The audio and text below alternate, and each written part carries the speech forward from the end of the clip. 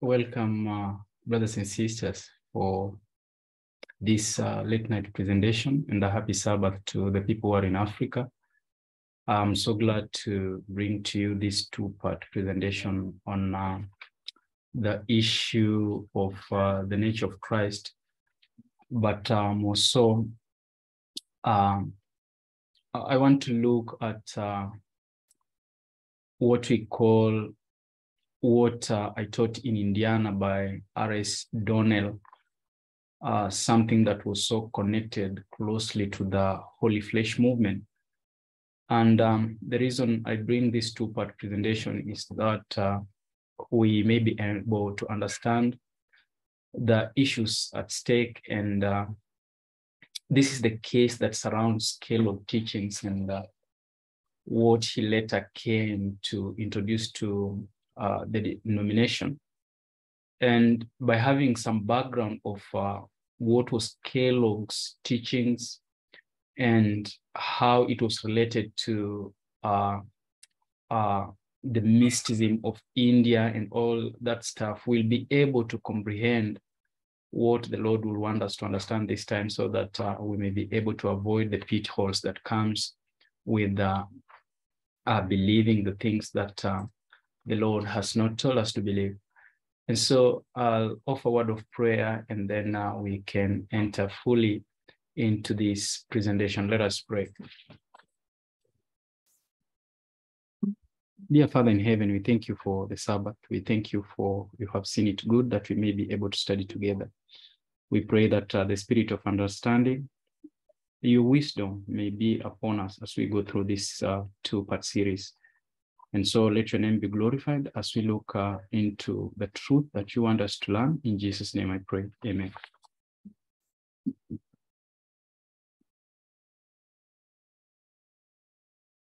So uh, I pray that uh, this will not just be information, but uh, we will learn something that will help us to move uh, closer to Christ. Now, R.S. Donnell was one of uh, the leaders of the Holy Flesh movement and uh, the president of the Indiana Conference during um, the period of his involvement with the movement. And uh, after its demise, that is the Holy Flesh movement, uh, he resigned his position, but later called um, uh, to serve the church in Raleigh, Tennessee. That is near Memphis. However, after a couple of years, in 1907, he was disfellowshipped from, uh, uh, he was disfellowshipped for preaching the Holy Flesh. His claim was that he did not, but taught the same as he had in Indiana. And so uh, we want to look at the things that uh, he taught in Indiana and uh, why did the denomination really disfellowship him and how is that all connected to the very things that were in the living temple and what was espoused then uh, uh, as how do Christians come to possess uh, the divine nature of Jesus Christ. Um, and um, I thought that I could do this in the series of the final uh, generation, but uh, I just want to do this uh, um, apart from that series so that when we come to that series of righteousness by faith, we may see how the indwelling power of the Holy Spirit imparts our life and uh, we can be able to walk in truth. Um, speaking of the Holy Flesh message, uh, R.S. Donnell stated that uh, now is the time for a Laodicea, for the Laodicean or cleansing message.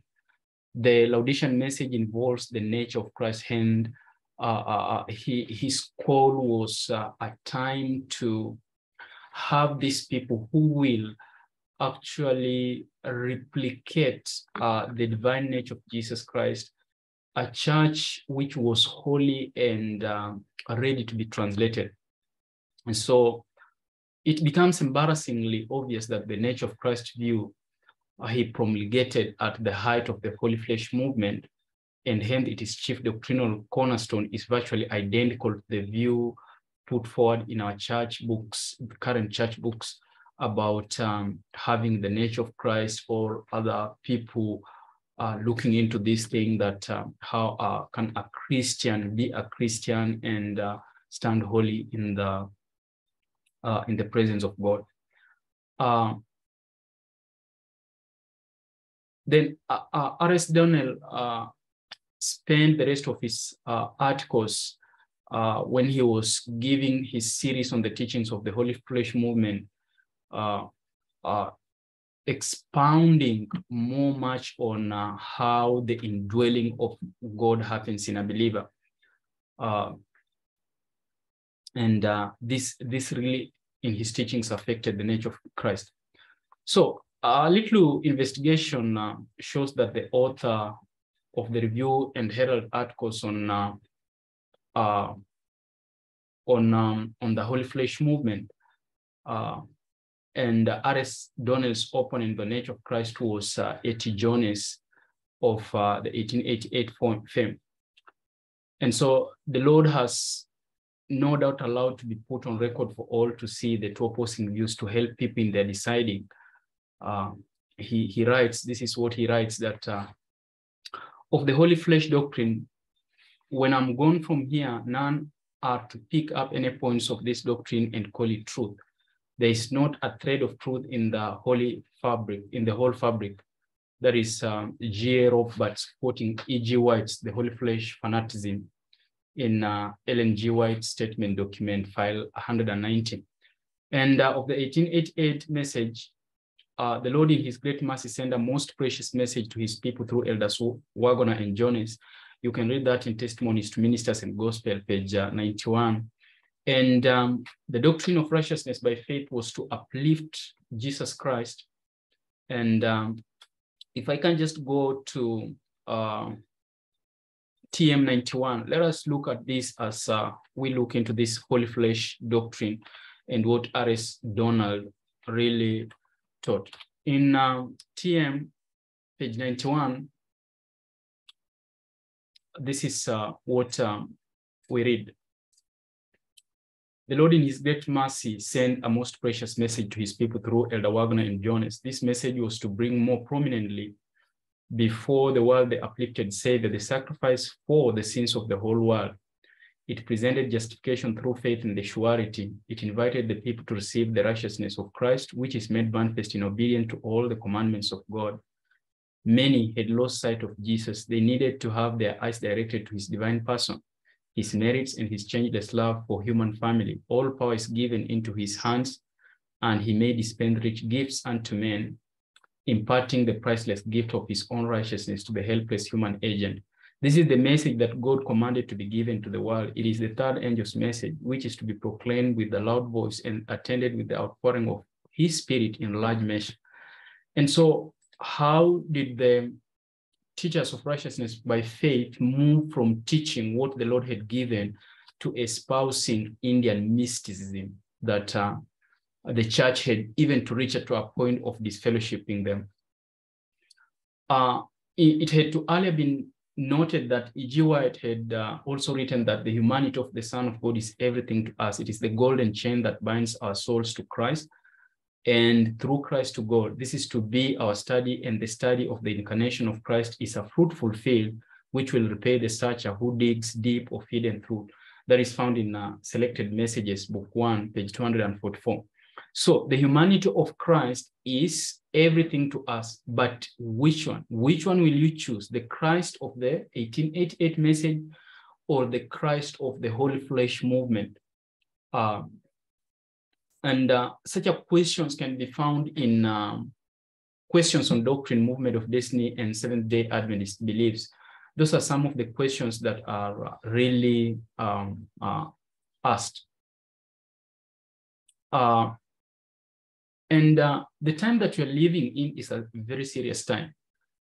And the time has come when we cannot depend upon the doctrine which comes to our ears unless we see that it is harmonizes with the word of God because we are in a state where we should be keen in what we hear and be keen in what we speak. There are dangerous heresies that will be presented as Bible doctrines and we are to become acquainted with the Bible so that uh, we may know how to meet them. The faith of every individual will be tested. And we want that uh, when we are tested, we be found not having confused uh, voices of uh, this and that, but um, having the word of God indwelling in us. And uh, we are told that sanctify the Lord in the heart that we may give a reason of the hope and the faith we have. And so uh, Donnell, R.S. Donnell says that uh, in a, a, letter issue of Watchman, I am charged with uh, teaching Holy Flesh and that uh, I imbibed and taught the same thing while I was in Indiana. Now, let, let, let me just project something uh, of what uh, this brother says. I like really us to get it so that uh, we may know what was this that uh, he was teaching. Um, now, it happens that I have a series of articles in possession which I wrote while I was laboring in Indiana. Uh, just back up for a minute. Yes, he says that uh, now it is so happens that I have a series of articles in my possession which I wrote while I was laboring in Indiana and which were published in the Indiana Reporter. These articles all bear upon what I taught in Indiana, to which opposition was taken by a number of General Conference Committee. This opposition was so strongly urged that I finally resigned my position as president of the conference. The articles were headed, Did Christ come to the world in a sinful flesh? Why I was charged with teaching holy flesh, I know not, unless it was that in my article, as well as in the pulpit, I took negative side of um, the question. He continues to say, um, I have decided to republish these articles in a leaflet or tract form and uh, herewith submit them to the candid consideration of the people and let them decide for themselves what is taught in them or how much I have said about holy flesh in humanity. The Laodicean message involves the nature of Christ and the articles. And um, he continues to say in this article, uh, this is uh, what he continues to say.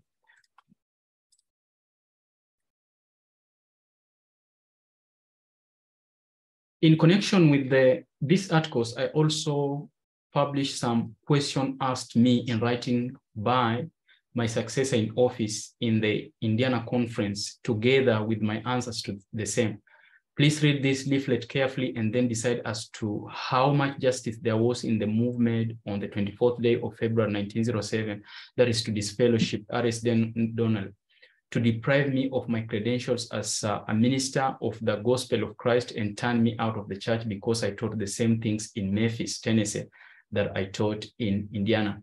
And so what are these things that um, he taught that um, really agitated the church to disfellowship him? And these are the things we are going to look at and see if these things are being taught as we happen today. And if you are in the church, then will you be disfellowshipped or will you stand as uh, a good member of the church? Um, in asking, did Christ come to this world in a sinful flesh? In his response in Article 1, he says, to those who are preparing for translation, the question with which we introduce this article becomes indeed an important one. In speaking of their condition and what they are to be when the Lord returns to the earth to gather up his people, 1 John 3 2 says, But we know that when he shall appear, we shall be like him, for we shall see him as he is. And further than this, it is evident that those who are prepared to meet him when he comes know what he is. And prior to that event, set to work to become like him for the next verse says, and every man that hath this hope in him purifieth himself, even as he is pure. That is 1 John 3 2. Then, in order to be ready to meet the Savior and to be like him at his coming, all should understand the condemnation of Christ and whether or not in that condemnation he took upon himself sinful flesh and retained it during his life work on earth, And uh, further, they should know the work that Christ came into this world to do and just what was required of him in life and character in order that he might be able to accomplish that work. Uh. Donnell says that the Bible says that he came into the world to save sinners. And the spirit of prophecy says the life of Jesus was one of laborious, self-denying effort to bring man back to his first estate. He came to expel the demons that he had, that had controlled the will. Yeah, excuse me. He came to expel the demons that uh, had controlled the will. He came to lift up from the dust to reshape the mad character after the pattern of his divine character and to make it beautiful with his own glory. And he goes ahead to quote Desire of Ages, page 42, which talks about the restoration of the image of Christ in man. So just here, uh, I might ask this question. In order to convert the people of some heathen land to Christianity, how will the church go about it? Will they select some man possessed of the sinful traits and propensities of the people to whom they send him, hoping thus to elevate them to the standard of true Christianity, or will they send one who had himself embraced all the doctrines of Christianity and had by them been purified, ennobled, and like unto what they hope to do for the people unto whom he sent? And so, in sending somebody to the places where people have been converted, do you send a sinner or do you send a person who is pure? That is what, in essence, R.S. Donnell uh, is asking. The answer to that is easy, he says. All who say, don't send a man whose life would be unlike the faith intended to be taught, but send one in whom the power of the faith of Christianity is revealed that in that man and in his life may be shown to them what the faith that he offers will do for them when they apply it unto their own lives. That is right. And so, in redeeming a world, God must send one into the world with all the characteristics in him, not of the people in their fallen condition to whom he has gone, but of the people lifted from their fallen condition and restored to their first estate. And so, what Donnell is trying, R.S. Donnell trying to say is that when Christ comes, he is in the condition pre-fall and not the condition after the fall. Because his argument is that um, if you have to send somebody on the mission, you have to send somebody who is um, not in the same condition with the people you are sending to to be converted. And so he carries that argument into the nature of Christ that in order Christ to be sent on earth, he has to be sent in a pre-fall condition rather than in a fallen condition. Otherwise, it won't help those he's going to win back to the image of God. And so he continues to say, um, and we believe this is to be just what God did. Say not of him whom the Father has sanctified and sent into the world, thou blasphemeth, because I said I am the Son of God. John 10 36. Here we are told that Christ was sanctified and sent to the world. That is, when he came into the world, he stood as a representative, a perfect sample of what he proposed to do for all whom he would accept of and believe in him. And so we have already read the work of Christ was to restore man to his estate. That estate is not possessed in our sinful condition for it was through sin that man lost it. It may be necessary to notice for a moment in what that first estate consisted, that we may have before us that to which we are to be restored through the redemption that is in Christ Jesus. Referring back to man in his first estate at the time of the creation, the psalmist say, For thou hast made him a little lower than the angels, and hast crowned him with the glory and honor. Thou madest him to have dominion over the works of thy hands. Thou hast put all things under his feet. Here then was man's first estate, and um, when Adam stood in it, we are told that he stood there in the image of him over whose works we had dominion, even the image of God in Genesis chapter 1, verse 27, and on uh, uh, page 88 of the Spirit of Prophecy. And so for Christ to be sent Donnell says that uh, he has to be sent in a pre-fall estate. If he's sent in a, a fallen estate, is fallen state, then uh, th there is nothing he can offer to humanity. But uh, uh, actually, is this according to what the Hebrews say, or is it according to what he sees that and what he's thinking? Because uh, the book of Hebrews is so clear that um, he was made unto like his brethren. Um, in, in the book of Hebrews, chapter 2, 8, referring to the changed road as the result of the fall, the apostle says, But we see not yet all things put under him. No man fell and lost this estate marred the image of God in him. He now needs a restorer, a savior. So the apostle continuing verse 9 says, But we see Jesus. In what way do we see him? Ah, we see him coming as the restorer, as the savior of the fallen race. So R.S. Donnell says, and now how must he come? Must he come possessed of the inherent traits of the fallen race, or while he comes as a man, should he not come as a man redeemed, possessed of all the traits of character, all the inherent principles of godly nature? So the argument of uh, R.S. Donnell is again that um, Christ must come in a redeemed condition to be able to redeem those he is coming to redeem. Now, remember, the church disfellowshipped R.S. Donnell for teaching such a things that Christ came in uh, not in a sinful nature. Christ came already redeemed so as to redeem those who are fallen. And so he says that Christ cannot come possessed of the inherent traits of a fallen race. He must come possessing another nature for to be able to save those who are not um, in sin. And so if Christ could come in a fallen nature, in a sinful nature, then it means there is nothing he can offer to a man. And surely, he says, R.S. Says, and surely he must be possessed of those attributes which offers to those whom he comes to restore. It will be worse than foolishness for me to offer you a thousand dollars when I do not possess a penny.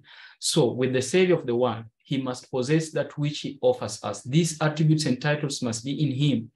Man must see in the restorer himself the results of the work that he proposes to accomplish for man. In short, if Christ possesses proposes to restore man to his first estate, he must come to man standing in that estate himself. He must come standing where Adam, the first owner, stood before he fell. Those are the sentiments of R.S. Donnell. That is where the world must see him. And thank God it is just at this point that the Bible represents him. So, and where does he go to quote that?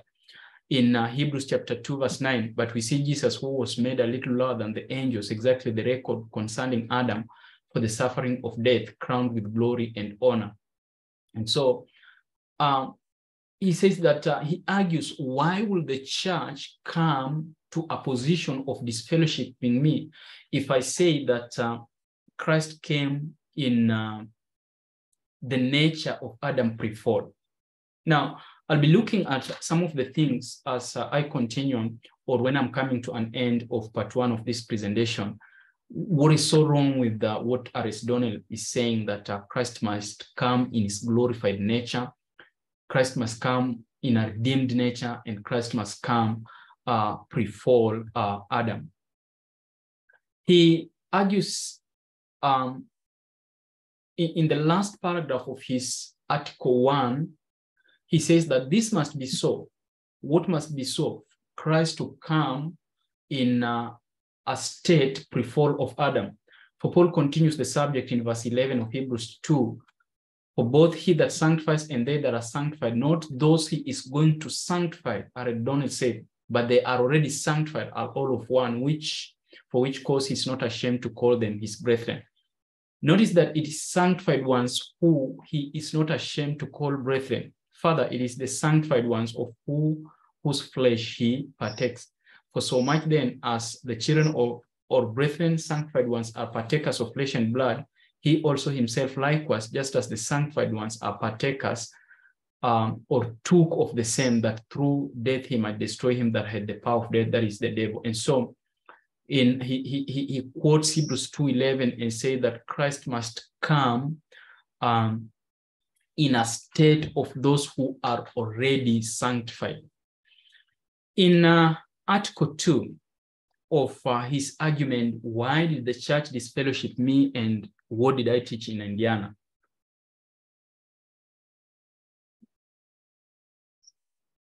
He says, In uh, taking up this subject, we will begin just where we left off in the last article, in that when we closed, we were considering the fact that Christ himself took part of the flesh and blood just as the children did. That is, he took part of the same flesh that the children possessed. We found also that the children are the sanctified ones. Now, the sanctified ones are surely those upon whom the truth of God and the power of the Holy Spirit has wrought the ones who are new creatures in Christ Jesus, who have been created unto good work, the same which God hath before ordained that um, they should walk in. And so men can continually do righteous acts only as God incarnate in them. And it was God's purpose from the beginning to dwell in every created being so that good works or he himself might always appear in them. But in sinful men, Satan is incarnate, and God and Satan cannot dwell together. The only reason why God does not dwell in man is because sin is there. And in order for God to again dwell in man, sin must be eradicated. The body of Christ was a body in which God was incarnate.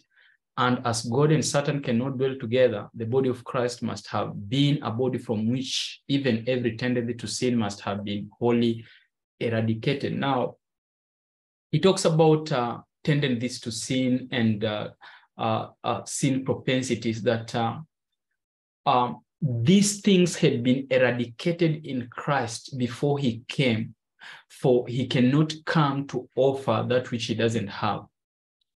And uh, maybe we have to look into that in another way. Did Christ have any pool of sin? Did Christ uh, was Christ, the, the question narrows down to this. Uh, was Christ in his, his human nature able to sin or not able to sin? If he were not kept by the power of God, would he succumb to sin? The, the obvious answer is yes. And although the experience in Gethsemane is not sin, where he tells his father, if it is possible, take away the cup, but not according to my will, but according to your will. It shows that humanity of Christ or what he can desire to be done.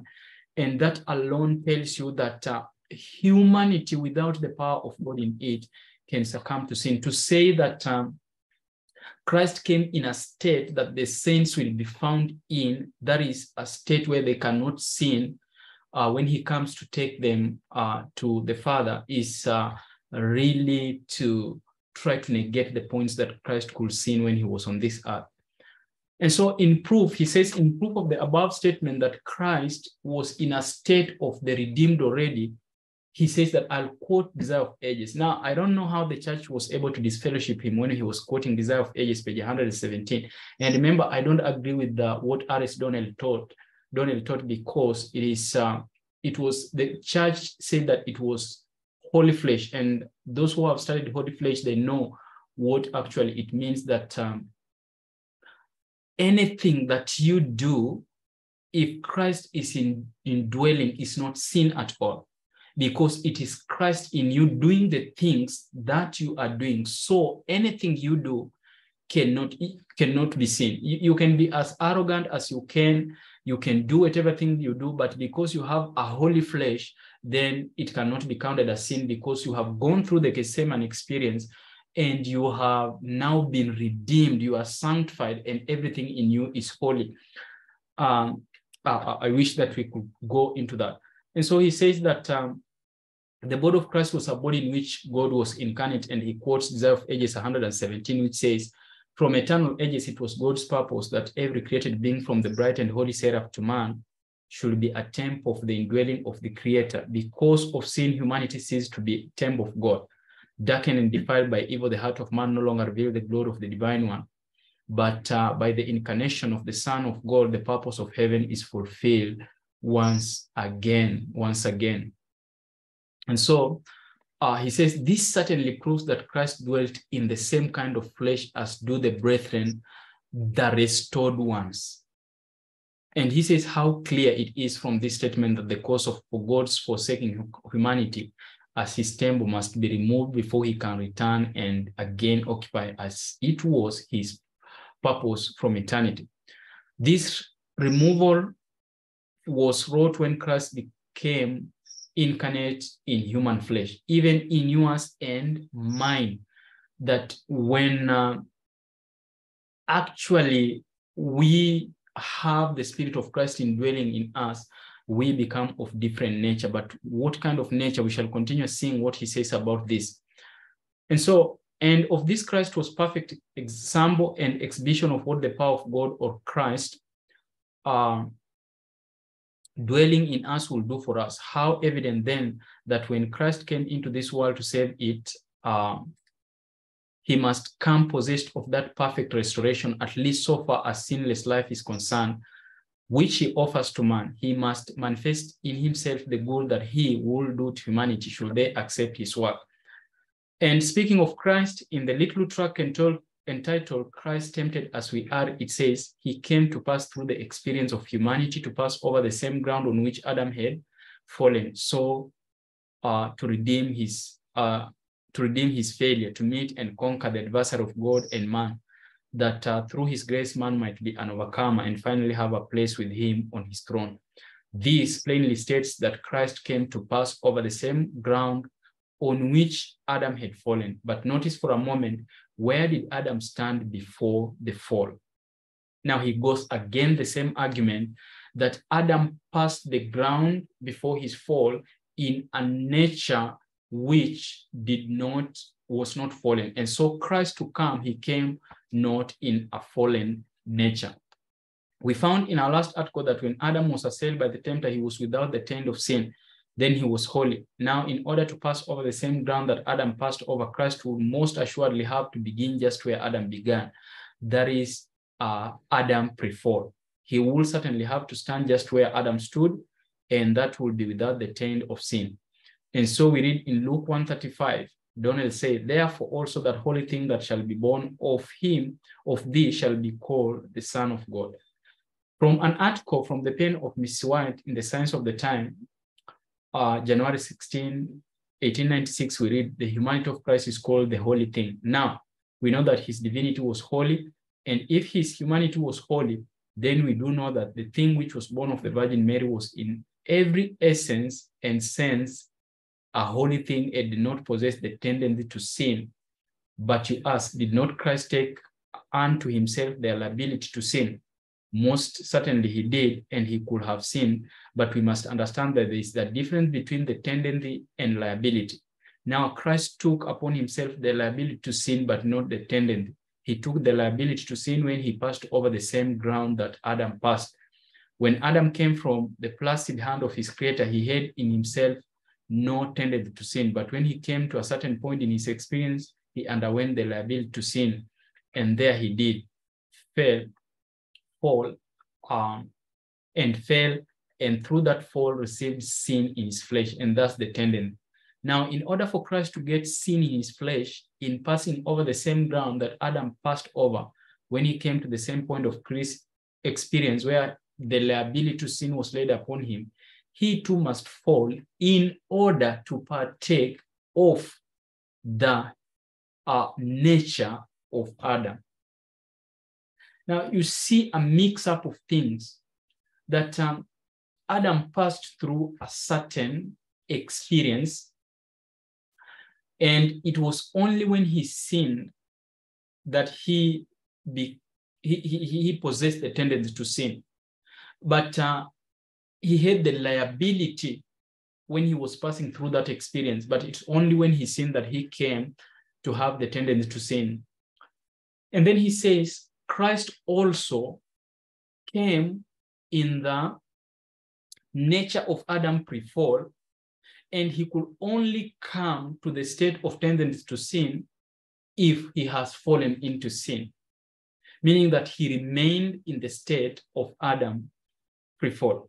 Now, th th there's a lot of issues in this because um, uh, we are told that he partook of uh, the nature of Adam, not pre-fall, but after fall. And so uh, in, uh, let us go to Romans chapter 8, verses 3. Romans chapter 8, verses 3.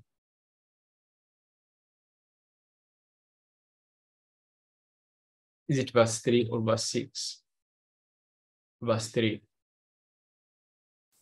In uh, Romans 8, chapter, chapter 8, verses 3, we read, For what the law could not do, in that it was weak through the flesh, God sending his own son in the likeness of sinful flesh, and for sin condemned sin in the flesh. Now, you cannot say Adam pre-fall had a sinful flesh. That is not true at all. And so what uh, Donnell is trying to say that uh, Christ only took the liability to sin, but he did not take the sinful flesh. But let, let, let us continue to listen to what he has to say on these issues. Christ did not fall. He redeemed Adam's failure. He conquered the enemy and escaped, receiving no sin in the flesh. And as in the same article in the Signs of the Times already referred to, he, he, corrupted not his human nature. And uh, though in the flesh he transgressed no law of God in any particular, in volume three of Spirit, volume two of the Spirit of Prophecy, there is the old edition, page 60, we are told that he had sinless humanity. And in volume two, bound testimonies, page 201, 202, we read, he is a brother in our um, infirmity, but not possessing like passions. And again, in the same sign, in referring us to how he stood as Adam stood, it says Jesus humbled himself, clothed with divinity, with humanity, in order that he might stand as the head and representative of the human family. Now, these arguments of um, R.S. Donnell are the same arguments that uh, Kellogg says that uh, I'm really saying exactly what E.G. White is saying. And then E.G. White says, no, I'm not saying what you are saying. And so other than the words looking the same, there is a thought that, that doesn't match. And so you could place the words of R.S. Donnell, Kellogg, and E.G. White side by side, and you see that they are speaking almost the same thing. But then when you come to the thoughts of those um, wordings, you find that they are different. And uh. White was able to say that these things cannot be patched, but uh, the whole book needs to be destroyed. The same mysticism that was in his teaching is what was carried into Kellogg's teaching. And. White said that far be it that uh, uh, I'm teaching what Kellogg is teaching. We, we shall see how this links up. Now, he says that the fact that Christ was tempted upon all points as we are tempted, and yet without sin should be sufficient evidence in self to prove that there was not even the tendency to sin in him. We hope that no one will become mixed on this point or misconstrue our meaning, for we have already stated that in coming to this world and passing over the same ground that Adam passed over, he underwent the liability to sin. For when he reached the point where, where Adam uh, point where Adam fell, there he laid himself liable to do the same thing that Adam did. But thank God he passed safely over it and maintained his allegiance. So when, when uh, Eve brought the fruit to Adam, at that point, Adam reached the liability to sin without possessing the sinful nature. And then he sinned and possess the sinful nature. But then we find, this is the argument of Donnell, but we find that Christ came to that point, and when Satan came and told him, turn this bread in, turn these stones into bread, at that point, he came into possession with the liability to sin. But because he did not sin, he did not possess the sinful nature you can see a mix up of things. It will hardly seem necessary to give any further proof to sustain the point stated above that, but I cannot forbear uh, quoting the testimonies. And he goes ahead to quote the testimonies, page 32, uh, testimony 32, page 178, 178, which says, he was tempted in all points like we are tempted. Satan stood ready to, ready to assail him at every step, hurling at him his fierce temptations yet he did not sin. When Christ came to this earth, he came to make himself an offering of sin. And in order to make an offering that would be acceptable to the Father, he must at least be as free from sin in every particular as was Adam before he fell. Going to all the nature that Adam possessed, that is what exactly uh, Jesus possessed. So R.S. Argues. And, and then you, you sit back and ask yourself, so how is this a problem? Why did the church disfellowship uh, R.S. Donnell and how is it different from what we teach? But uh, I have to say that uh, his argument on the nature of Christ, that uh, when he was tempted by Satan, at that point he became liable to sin. But when he overcame it, he escaped partaking of the nature uh, of the sinful nature. That, that is a mix up of things because it will be a contradictory with the, the Bible. And uh, uh, looking into this article two, he says there were plenty of bodies here on earth, but they were all in the same condition. They had all sinned and came short of the glory of God. But in order to save man, Christ must enter humanity. And because all were sinners and not a body could be found that was suitable, what had to be done? A body had to be made for the occasion. And so we read in Hebrews 10:5, a body has thou prepared for me. In making his body that which unfitted all other bodies, uh, uh, that is uh, enmity against God, the carnal mind was left out, having abolished in flesh the enmity, Ephesians 2.15. So he came in a sanctified manner, he came in a redeemed manner, he came a person who had uh, who had been, been sanctified by God. But uh, again, if Donnell Donnell taught that uh, Christ came in a redeemed state, I want you to think about the redeemed state. Uh, that um, Christ came in a redeemed state, in a sanctified state. He says that a body prepared in making his body that which has unfitted all other bodies, a body which was against, uh, uh, which was enmity against God, and the carnal mind was left out, having abolished all in his flesh the enmity. So Christ came already a conqueror, already a redeemed person, a sanctified person. Now, if that is the state that Christ came in, the, the, the, the dangerous thing about this is that um, to say that Christ already came in a redeemed state, in a sanctified state, a state which had already conquered everything, when did Christ experience humanity so as to be able to be uh, seen in a state of the redeemed? I hope that point comes clear that if he came in a state where the redeemed will be found in, then he, he we have just to conclude logically that uh, before Christ was incarnated, he had conquered all the experiences of humanity. Now, whatever thing that he went through when he was a human being, there is nothing to him because he came in a state where he had conquered that. Now, how, how is that possible? It is impossible because if that is the case, then there is no need of Christ coming to the earth to pass through what Adam passes through or humanity passes through, then goes back and sends his efficacious spirit. Why would Christ come to pretend that he's going through what humanity has gone through when already he has come in a redeemed state. Now you start seeing the implications of the statements that R.S. Is using, that Christ came in a redeemed state, in a sanctified state, in a state where the saints will be found in when Christ comes the second time in the clouds of the air. What is the meaning of that actually?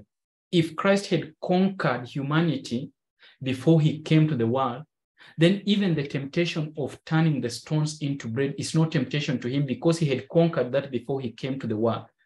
Everything that he went through, the contradictions of the Pharisees and the Sadducees, and those people who wanted to trap him when he was here as a human, there were nothing to him because he came in a redeemed state, in a state where he had already conquered humanity.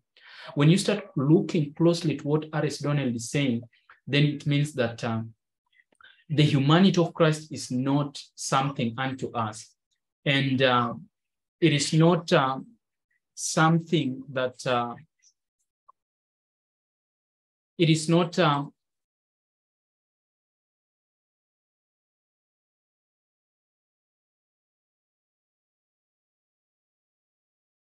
uh, sorry for that.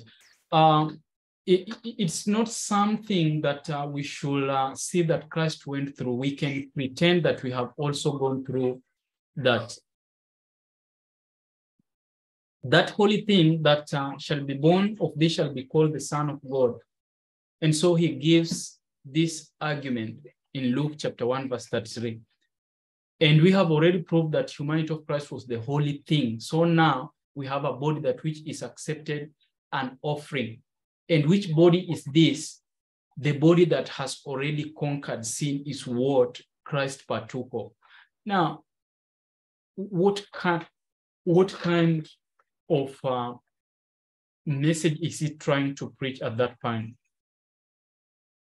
Uh, what kind of message will he be trying to teach uh, at that point?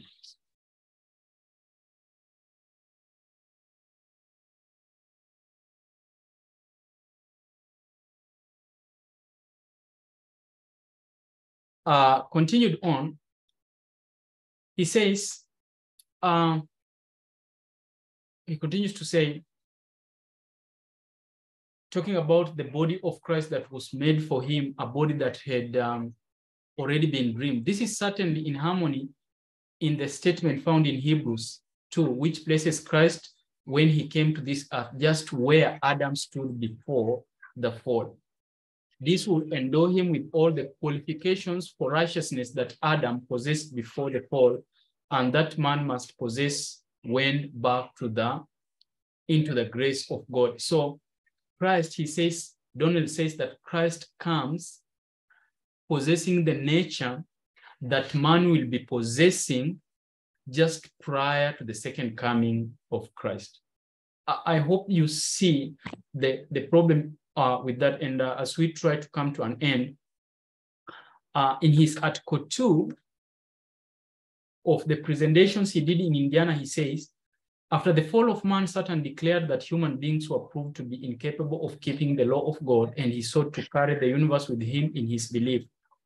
Um, Satan's words appeared to be true, and Christ came to unmask the deceiver. The majesty of heaven undertook the cause of man, and with the same faculties that man may obtain without the temptation of Satan, as man must withstand them. So he argues that um, when Christ came, uh, he took the faculties that man may obtain without the temptations of Satan, as man must withstand them. Now, think, think of this. It can give you a headache when you are reading what uh, Donnell actually had uh, was saying. I'll repeat the statement. After the fall of man, Satan declared that human beings were proved to be incapable of keeping the law of God, and he sought to carry the universe with him in this belief. Satan's words appeared to be true, and Christ came to unmask the deceiver. And how did Christ come? Listen to this statement. The majesty of heaven undertook the course of man, and with the same faculties that man may obtain without the temptations of Satan, as man must withstand them.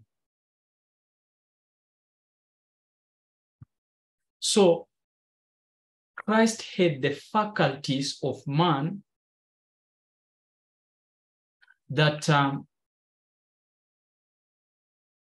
that ha, ha had not been tempted with Satan, uh, or uh, that which he will obtain after overcoming sin. The faculties that man will have after overcoming sin, or the faculties that man has without the temptations of Satan, that is the faculties that Christ came and stood with when he was on this earth. Now, really, did Christ possess the faculties of man before the temptation? what will be the essence of the Bible saying that he came possessing the mind of a human and he was born of the seed of David if actual Christ came standing in the nature of man without the temptations and the nature of man after overcoming the devil.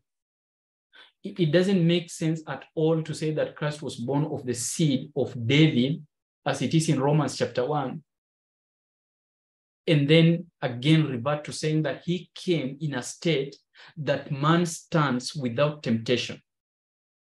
What kind of faculties or what kind of nature does man have without the temptations of Satan? Obviously, a state which is not fallen per se, or a state which has overcome sin. And so Christ came to the earth, taking humanity and standing as man's representative to show in the controversy with Satan that man, as God created him, connected with the Father and the Son, could obey the divine requirement, which is uh, uh, it's a mixture of this and a mixture of that. But how could man obey every divine requirement as God created him? Now, if Christ came to show this, he must come to this world standing just where man stood at his creation and not after the fall. Remember, these things made Donnell to be uh, disfellowship.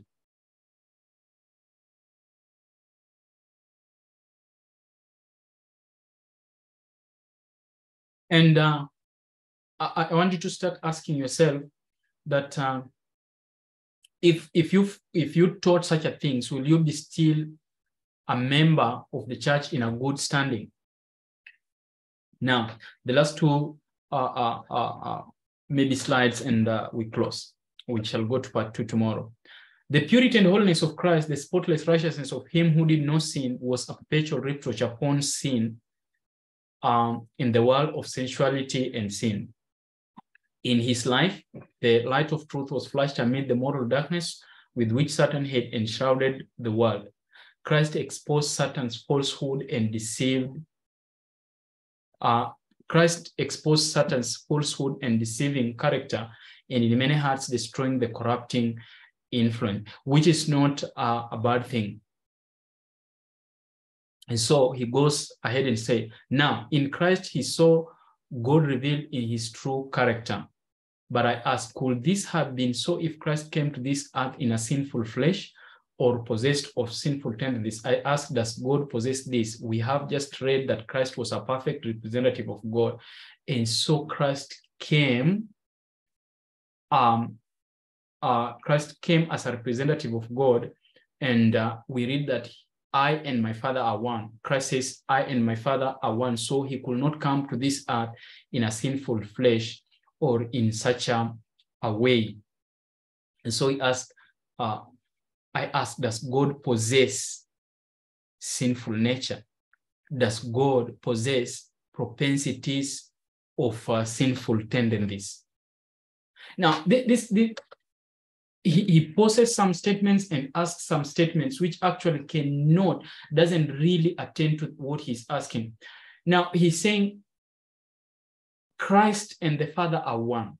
And if so, Christ and the Father are one, can we say Christ came in a sinful flesh? Is God possessing such? You see how Donnell really asked his question, which means Christ just came as God would come from heaven. And the only thing is a body of flesh, but nothing less than that. But then we, we have to understand Christ came on this earth that uh, 4,000 of years had generated the race. And then uh, uh, he followed after the law of heredity. Christ did not come in a state that Adam was pre-fall. For Adam, the strength he had is not the strength that Christ had when he came on this earth. The, the, the, the, state of Adam, the nature of Adam had not been deteriorated by 4,000 years of sin. When Christ comes on this earth, he takes the law of heredity, a world that had been generated 4,000 years of sin. And so you could not compare the nature of Adam with the nature of Christ when he's coming on the earth, because this is a whole total different thing, a nature which had been affected by sin. And then uh, I'll, I'll, summarize. Uh, he says in Article 4 the Majesty of heaven undertook the cause of man, and with the same facilities that man may obtain withstood the temptation of Satan as must, man must withstand them. In the fall or in redemption, a different set of faculties is not given to man. In both cases, he possesses the same faculties. In the fall, man's faculties were only perverted, and in redemption, they were restored. This perversion of the faculties is what causes in man the tendency to sin. Now, will any man take the position that Christ came into this world with the faculties even of this human nature perverted? I think not. We have already found a proof that he did not. The humanity of Christ was a holy thing, and that is in the book of Luke. And so he already said that we have ascertained that Christ could not come in the nature that man has today or had then in 4 BC because Christ said, I and my Father are one. And so if Christ says that I and my Father are one, then it means that what the state that God is in is the same state that Christ is in. But if the state that God is in is the same as the state that Christ was in, then we have a big, big problem as humanity because Christ cannot be our example in this earth because he doesn't possess the same state that we possess. It will be good to guard over these things because some of them seem so good and uh, exempting Jesus Christ from our nature so that uh, we may not enter into this error. How can he in his nature redeem us if he is in the same nature that we are in. Those are some of the arguments that uh, people may have. These facilities or what may obtain, these facilities are what we may obtain as a free gift from God through the Lord Jesus Christ. The Apostle Peter expresses in thus, according as his divine power hath given unto all of us. And so uh, those, are, those are these four series articles of uh, Donnell talking about the nature of Christ. How did he come? And lastly, he says, let us now come directly to the examination of the question asked as heading to the articles. Did Christ come to this world in a sinful flesh? He asks. I have been searching and asking for the Bible text that says he did, and the nearest to it is the one in Romans chapter 8, verse 3. So he says, when we talk about Christ coming in a sinful flesh, he has been searching a scripture, but the one that comes so close to that is Romans chapter 8, 3. Let us read it for what the law could not do, in that it was weak through the flesh, God sending his own son in the likeness of sinful flesh, and for sin condemned sin in the flesh. Now, in the place of this text telling us that he did come in a sinful flesh, it only says that he came in the likeness of it. Philippians 2 8 says, and being found in a fashion as a man. A man may have two coats, but in the way they are cut, one different from the other, so that while they are both recognized as coats, their fashion is unlike. One may be short, the other long, or there may be some, particularly in the cut of one that does not appear in the other. Now, the Bible presents before us two men, two Adams. It tells us that the first Adam was made a, a living soul, the last Adam was made a quickening spirit. But also this issue of uh, quickening spirit, we must understand when was Christ made a quickening spirit? The first man is of the earth, the earth, the second man is the Lord from heaven. Now let us look at the first man while a while and beside him stand one who has been deteriorated and degenerated by the effects of the infirmities of sin. The first one, Adam was as tall again as men are today, a majestic frame and a gigantic mind, called in fact the son of God in Luke 3:18. That is what Adam was called. but the likeness of fashion of his race has been changed. Men, by the time that Christ came to this world through the infirmity and the degeneracy of sin, had become so reduced that they had almost lost the divine image. This comparison is well expressed in uh, Great Controversy, page uh, 644 and 645, where the race is presented as coming forth from the grave. All came from their graves the same in stature as when they entered the tomb. Adam, who stands among the risen throne, is of a lofty height and majesty form in stature, but little below the Son of God. He presents a marked contrast to the people of last later generation. In this one respect, shown the great degeneracy of the race, but all arise with the freshness and vigor uh, of eternal youth. But Christ came to restore that which had been lost. He will change our vile bodies and fashion them like unto his glorious body. The mortal, corrupt form, devoid of calmness, once polluted with sin, uh, becomes perfect, beautiful, and immortal. The last lingering traces of the curse of sin will be removed, and Christ's faithful ones will appear in the beauty of the Lord our God in mind and soul and body, reflecting the perfect image of the Lord. When Christ came to this earth, he did not take the likeness or fashion of Adam as he stood in his perfect manhood, but that of his race in later generations. Yes, he took it when he, the race had been weakened by 4,000 years of sin. Like every child of Adam, he accepted uh, the result of the working of the great law of heredity. Yes, he came subject to the weakness of humanity. He had to meet his perils in common with every human soul. He took human nature upon him, but that, that implied that he took sinful nature with him. If so, then he takes sinful nature into heaven and carries forever. So that is the argument that if he came and took the sinful nature, then he carries to heaven. So um,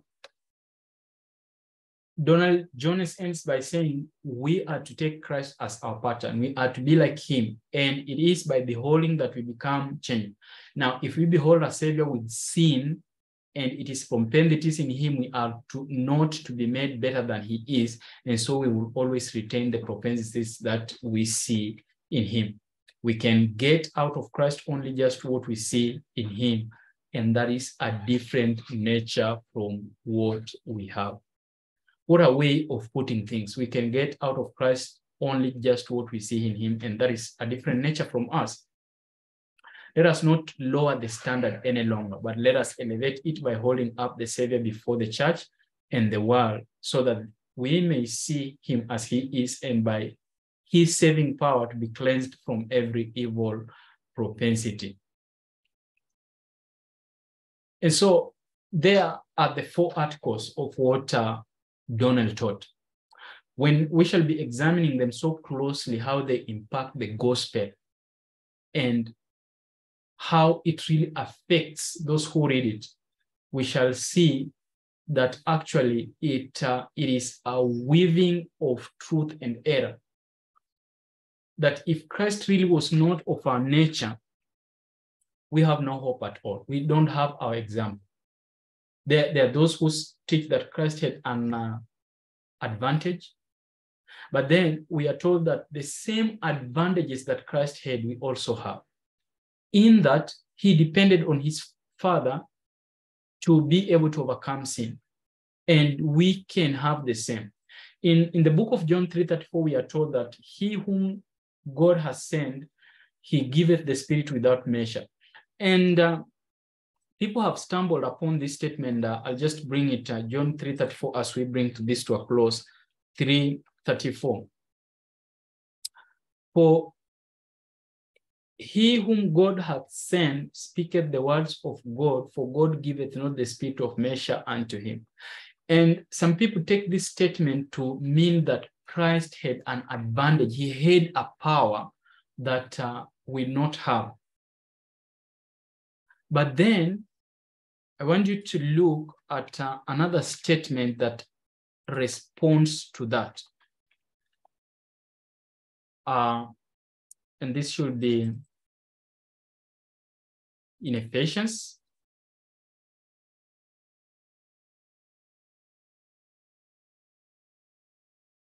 um, in, in Ephesians chapter 3, verse 19, in Ephesians chapter 3, verse 19, we read this. And to know the love of Christ which passeth knowledge, that you might be filled with all the fullness of God.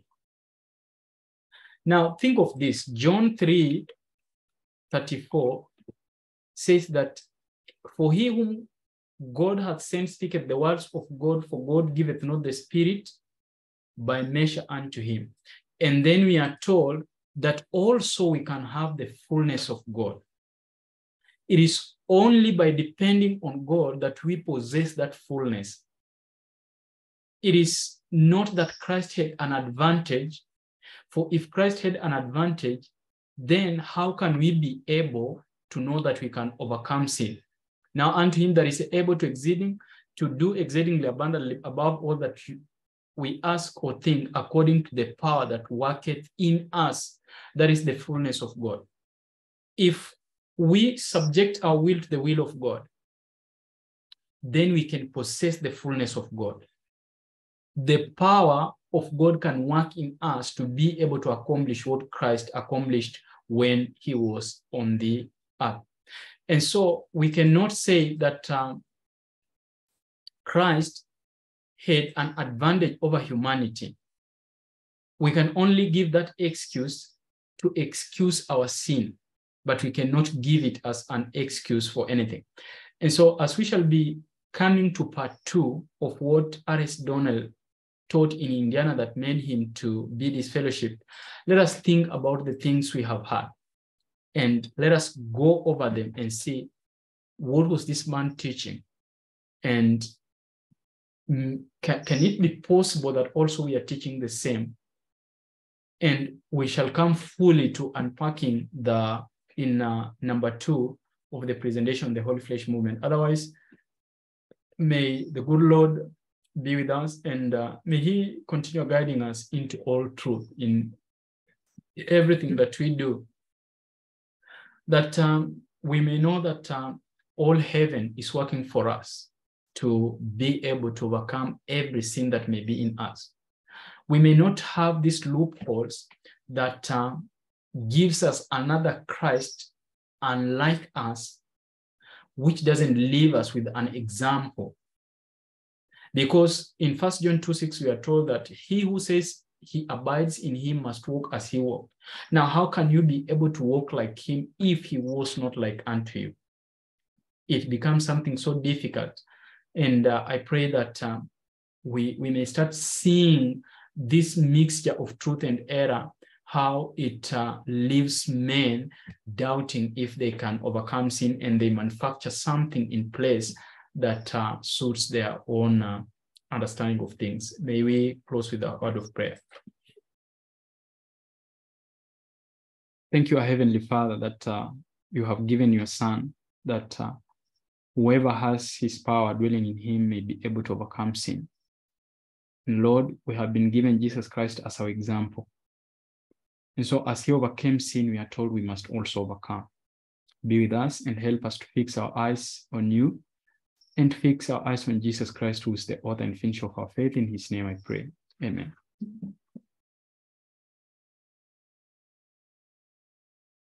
And so God be with you and bless you until we meet in the next presentation.